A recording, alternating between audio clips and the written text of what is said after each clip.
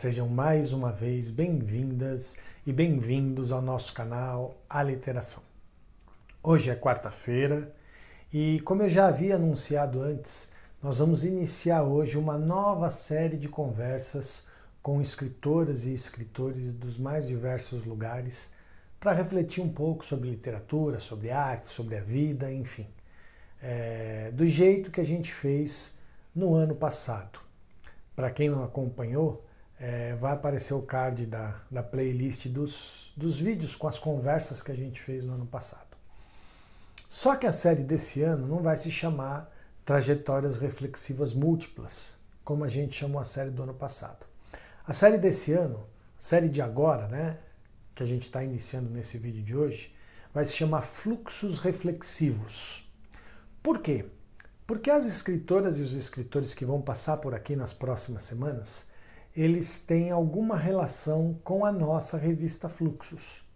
São pessoas que enviaram seus textos, que tiveram seus textos publicados, enfim, pessoas que de alguma maneira é, é, têm alguma relação com a nossa revista Fluxos, que já está indo para o quarto número, né, para o quarto volume, um, um, um projeto que enche a gente de alegria e de orgulho tá certo? Então nós vamos aí nas próximas semanas bater um papo com, com, com essas escritoras e, essas, e esses escritores dos mais diversos lugares. Então confiram que vai ser sempre muito legal. E para começar, é, eu tive a alegria de conversar com uma escritora aqui de São Paulo, a Edi Longo. E eu falo aqui de São Paulo, na verdade, lá de São Paulo. Né? Eu estou falando de Guarulhos, ela é da capital do estado de São Paulo. A Edilongo ela é linguista, professora, atriz, mais o que ela com o que ela se identifica mesmo, né, onde ela se enxerga melhor, é na literatura. Então, vamos ver como é que foi esse papo com a Edilongo, que foi muito legal é, e, e, que, e que dá aí um pontapé inicial muito importante para essa nossa nova série de conversas.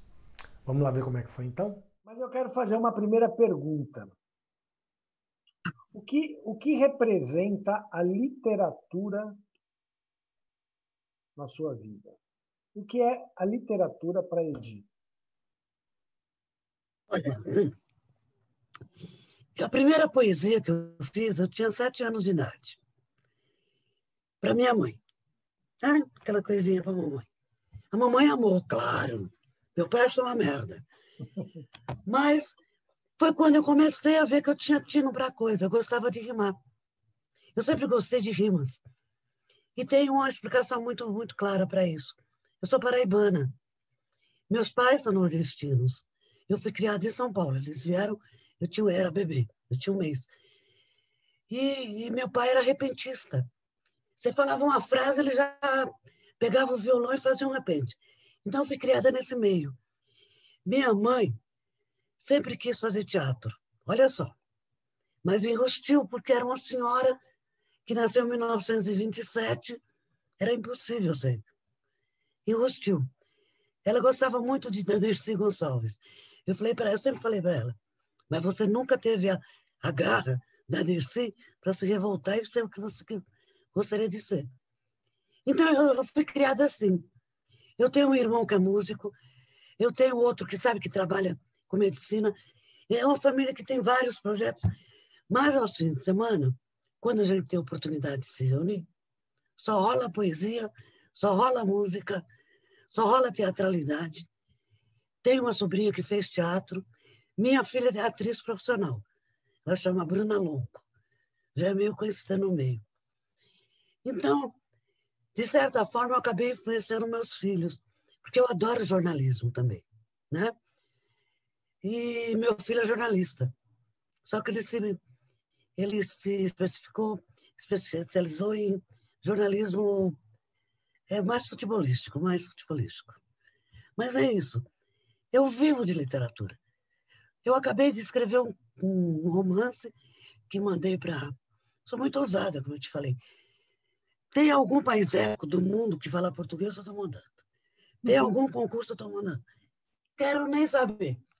É o Leia, que é o famosíssimo de Portugal, de Lisboa. De Lisboa. Então, é aqui, na Liberdade, né, através do, do, do concurso que tem, não sei se você sabe. Você participa de concursos? Já participei mais, agora o tempo não me permite, assim, eu tenho, ah, tempo. É uma delícia. Eu, não, eu acho uma delícia. Eu, eu, pois eu, é, eu tenho um delícia. livro que foi publicado. Pois é, eu fui, foi publicado aqui, lógico, aqui, em português, né? Aí mandaram para Osaka. Pô, eu tenho uma poesia em Osaka. Aí me deram o livro. Óbvio, uma parte em português, outra em japonês. Ah, mas eu mostrei para todo mundo lá no clube. Vocês nem sabem. Aí mandei para concurso para a Itália. Através da, da, daqui do Brasil, foi publicado em italiano e português. Então, lá na Itália também sabe que é Edi. E é isso, eu participo de tudo, Roma. De tudo. E você tem um nome bem artístico, hein? Roma Lopes. É. Eu participo de tudo. Eu não ah, vejo o tamanho do. Sabe, eu não ligo para isso. Como eu te disse, eu já tenho uma idade que já, já deu para viver. Viajei muito. Sabe, vou ainda mais ainda pretendo viajar. Eu acho que eu já fiz bastante coisa, então agora é hora de fazer alguma coisa. Participo muito de concursos que às vezes o, a, a finalidade é beneficente, né? Nós temos muitas pessoas precisando, uhum. principalmente agora na pandemia. Então, você está me entendendo falando? Estou, claro, claro. Porque às vezes eu não me entendo. Não, estou entendendo tá? perfeitamente. Tá bom. Perfeitamente. E é deixa eu te... tenho uma voz muito, como atriz, né? Tem a voz muito ampla. Então é isso.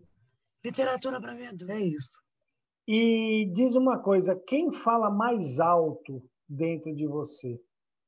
A Edi escritora, a Edi linguista ou a Edi atriz? Agora você me pegou de calças curtas. Eu acho que é de escritora. É de escritora. Por quê? Através da escrita eu posso escrever peças. Através do teatro eu posso ensiná-las. Essas pecinhas que eu mandei para você aí são exercícios que nós fizemos no palco. Entendeu? Então são coisas que afloraram assim. O diretor deu o tema, aí a gente se reúne, aquela coisinha, se reúne, né? Uhum as pessoas que ele escolhe para o grupinho. E na hora, gente, vamos falar sobre. Olha, e sai. É impressionante. Eu faço parte de um grupo há 25 anos, o Arte em Cena, do Clube Paineiras do Morumbi. Sim. Participamos de festivais e já ganhei até prêmio também. Mas é assim, eu acho que através da literatura, eu sou uma pessoa bem melhor, tanto como mãe, como avó, porque eu invento historinhas, eu conto historinhas para os meus netos, que eu invento. Quando eles nasceram, cada um ganharam seu livrinho de como os papais se conheceram, de como eles nasceram, em que circunstâncias. Então, através da literatura, eu também sou melhor edileusa, sou melhor cidadã, porque eu acho que eu dou uma, uma é uma forma justa de eu agradecer a tudo que a sociedade me deu e que eu pude conseguir através da sociedade, através do nosso país, que muitos largam porque acham que não vale a pena.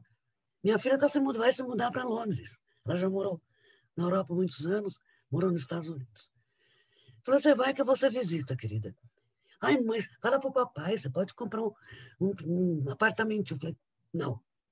Eu tenho meu país, eu tenho minha casa, eu tenho meus amigos, eu não vou abandonar meu país por causa de problemas políticos, que ela tem bastante.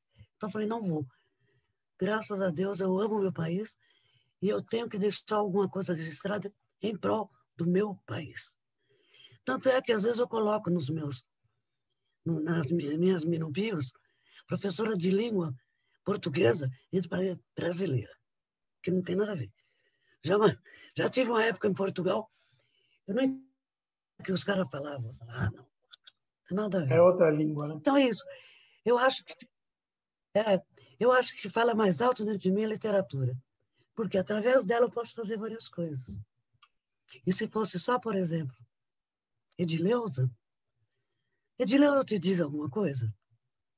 É um nome nordestino, mais comum do que Maria, e geralmente de gente que nasceu no sertão. Aí eu consegui fazer com que Edileuza fosse mais importante em São Paulo. Edileuza... Pensa... Mas, Edi, já que você, já que a literatura fala mais alto em você, é, eu queria que você refletisse um pouco com a gente sobre como é que você vê o espaço da literatura no país. Olha, uma, é muito, muito pequeno, muito pequeno. Eu tenho um livro que eu ganhei um prêmio em João Pessoa. Sabe por quê? Porque eu nasci na Paraíba. Eu tive que comprovar com a minha certidão de, de nascimento que eu era que eu tinha nascido na Paraíba. Ganhei um prêmio de contos. Veio com um monte de erro de português. Aí eu fiz até um, um uma errata. Aí eu tinha uns contos que todo mundo elogiava muito, ganhei prêmio tal. Apresentei para uma, uma editora aqui do, do meu quintal. Ai, mas ai, não dá, porque não sei o que e tal. Essa, essa mesma editora me classificou com um conto, e mesmo assim, ah, não, pô, gastei uma grana para editar. Porque eu queria presentear no Natal os familiares, os meus amigos, e eu queria dar uma coisa minha, né? Aí tive que gastar uma grana para editar um livro, que tem o quê? 180 páginas, ou menos. Então, eu fiquei muito revoltada. Eu falei, puxa vida, não vale a pena gastar meu dinheiro. Eu não vou pagar para trabalhar, certo? Então, é assim, estou concorrendo a concursos e estou me satisfazendo. Como eu disse para você, você me chamou de sua parceira, espero continuar sendo eu adoro o estilo da revista, eu adoro a forma que vocês fazem a, a publicação. Então, na verdade, a gente tem a ideia, a gente é, a gente está a gente está com muitas ideias, inclusive de, de poder algum, em algum momento lançar a, a revista de maneira impressa, né? E o que a gente é quer, muito na, bonitinho. O que a gente quer, na verdade, é tentar ver formas de fazer isso sem que isso gere custo para os autores, né? para as autoras e para os autores. Porque eu, acho que no momento em que você gera custo para o autor, para a autora, você limita a participação. E a nossa ideia é, é. ampliar, é. é ampliar a participação. Ampliar, exatamente. Mas a gente vai, a gente vai conseguir. A gente está indo devagar, né? A gente vai conseguir. E deixa eu te perguntar uma coisa. Vou parecer que eu vou passar batom. deixa eu te perguntar uma outra coisa. É, você escreve, pensando na revista, né, você escreve sempre para as nossas quatro sessões, né? Você, você nos manda poemas, você nos manda contos, você nos manda ensaios, você nos manda textos teatrais. Mas aí eu vou falar especificamente de um, um dos, dos, dos tipos de texto que você nos manda, porque eu considero talvez o mais difícil por conta do tamanho, porque a gente tem uma limitação de uh, tamanho dos textos, né? Por conta de, de, de, poder. A gente tem que ficar com os caracteres. É, não, de, não, por conta de, de poder oferecer um espaço maior para o maior número de pessoas, né? Porque, por exemplo, se a gente deixa livre, existem peças de teatro de 50, 60 páginas, e aí. Ah, tem! Né? Então, tem. Como é que é para você? E aí eu quero falar exatamente dos textos de teatro. Você acha muito difícil escrever textos de teatro curtos, como esses, de duas, três páginas, como são os, os textos que você manda para a revista? Você acha mais difícil escrever um texto curto ou um texto longo? De teatro, especificamente. Eu sabia que você ia fazer essa pergunta, Roma. Eu não sabia nem seu nome, mas já te conheci. É o seguinte. Assim como você faz né, um pão grande assim, você pode fazer pequenininho, dependendo da falta que você tem de material, concorda? Ou seja, você tem que ser artístico, sensível o suficiente para isso.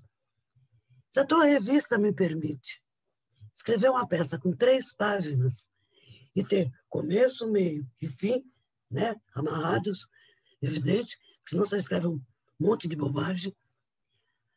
Então eu tenho que ser apta a isso. E para mim é uma, eu adoro desafios, adoro. Eu adoro tanto que eu fechei o saco do meu marido para sair lá do jogo, para vir colocar aqui na tele, televisão dele, na, no PC. E é assim, eu vejo mais ou menos o tema que eu. E é livre o tema. Bom, importante é que tenha tema livre, né? Porque se você amarrar três páginas a um tema, aí você desgraça o autor. Concorda? Concordo. Você mata o autor. Falou, pô, os caras querem que eu escreva com três páginas. Uma peça teatral. Começo, meio e fim. Aí matou. Então, eu tenho muita. Muita, muita. Eu escrevo mais ou menos assim. Como eu conheço a cidade, você pode ver que eu escrevo sempre sobre São Paulo. Se você percebeu, o cenário é sempre uhum. São Paulo. Eu conheço profundamente a cidade. Eu faço o seguinte: quando eu estou sem inspiração, agora na pandemia nem tanto, mas antes eu pego, pego um ônibus, vou até a Sé, vou até um bairro distante, vou até. e vou analisando as pessoas. Quando eu chego em casa, eu já tenho o tema. Agora, na pandemia, eu, vi, eu fui só uma vez, meus filhos quase me mataram que eu fui de metrô. Falei, mãe, você é louca! Falei, não, mas eu queria falar sobre um assunto que todo mundo gostaria de falar, mas eu tenho que falar em três páginas para uma revista. E eu quero dar uma certa importância para o tema, que foi quando eu escrevi Sujeitos Ocultos. Sujeitos Ocultos, eu, eu fui de metrô até a Sé, quase fui assaltada, morri de medo, voltei correndo, mas eu já tinha meu, eu já tive meu uhum. tempo. Então é mais ou menos assim. Eu saio à rua. Eu sou aquela. Eu moro num bairro, classe média, média alta das Perdizes. Mas graças a Deus eu tenho uma feira aberta de casa. Então eu vou na feira para não comprar frutas, mas para comprar personagens. Então eu chego em casa e escrevo. E eu gosto de escrever, você percebeu, sobre pessoas simples. Para mim, Madame já excedeu. Madame eu vejo no meu clube, altamente elitizado, paineiras do Morumbi. Sabe? Uhum. Gente que não tem o que fazer, eu vejo no meu clube. Gente que tem de mais, gente que tem de menos, gente que rouba, tá ali perto do palácio, gente que. Estou de saco cheio disso. Aí, então eu sempre procurei a voz do povo. Eu ainda acho que é a voz que vale a pena você ouvir que é onde está a verdade, onde está o sofrimento, onde está a correria para ver se tem um pãozinho no fim do dia. É né? Porque a gente pode até parcelar supermercado, que chique. Você usa o cartão de crédito e parcela. Pelo menos São Paulo é assim.